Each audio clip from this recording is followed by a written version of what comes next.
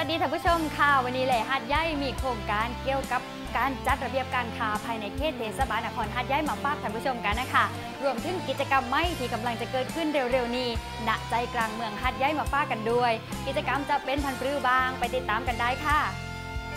เทศบาลนครหัดใหญ่จัดโครงการจัดระเบียบการค้าภายในเขตเทศบาลนครหัดใหญ่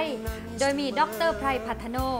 นายกเทศมนตรีนครหัดใหญ่เป็นประธาน พร้อมด้วยหน่วยงานที่เกี่ยวข้องรวมวางกรอบแนวทางในการปฏิบัติตามกฎหมายจราจรในพื้นที่จัดจำหน่ายสินค้าเพื่อให้ผู้เข้าอบรมเข้าใจ เกี่ยวกับการจัดระเบียบ และข้อปฏิบัติของผู้ที่จำหน่ายสินค้าในทีหรือทางสาธารณะ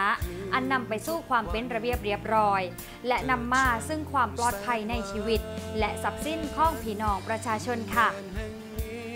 ต่อกันด้วยบรรยากาศงานบุญของเทศบาลนครหัดใหญ่นะคะ โดยมีนายบุญช่วยจังสิริวัฒนธรรมรงค์ที่ปรึกษานายกเทศมนตรีนครหัดใหญ่เป็นประธาน พร้อมด้วยดรพลึกพัฒโน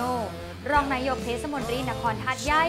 คณะผู้บริหาร และพุทธศาสนิกชน รวมพิธีเวียนเทียนเนืองในวันมาฆบูชา พื่อเสริมสิริมงคลให้กับตัวเองและครอบครัว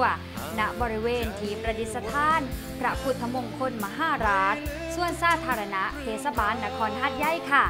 และมาปิดท้ายกันด้วยงานสนุกถูกเศร้ากับกิจกรรมการท่องเที่ยวณใจกลางเมืองหัดใหญ่กันค่ะ คือหัดใหญ่ Walking Street และเสน่ห้าชวนชิม ตั้งแต่เวลา 17 นาฬิกาถึง 23 นาฬิกาการจัดงานหาดใหญ่ walking street นะครับจะจัดกันสองส่วน ส่วนแรกก็คือ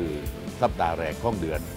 จะจัดที่ถนนนิพัทธ์อุทิศสามตั้งแต่หน้าไทยพาณิชย์จนถึงห้างโอเดียน ส่วน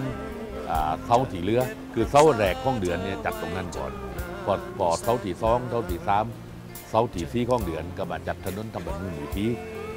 บริเวณนาทางทางด้านทางหางโอเดียน จนถึงแยกจากสนิหานุสรณ์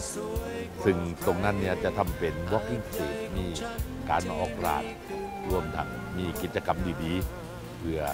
ดึงดูดนักท่องเที่ยวให้นักท่องเที่ยวมาเดินมาถ่ายรูปและก็มาชมบรรยากาศของเมือง ทุกวันเสาร์ตั้งแต่เวลา 17นาฬิกาครับ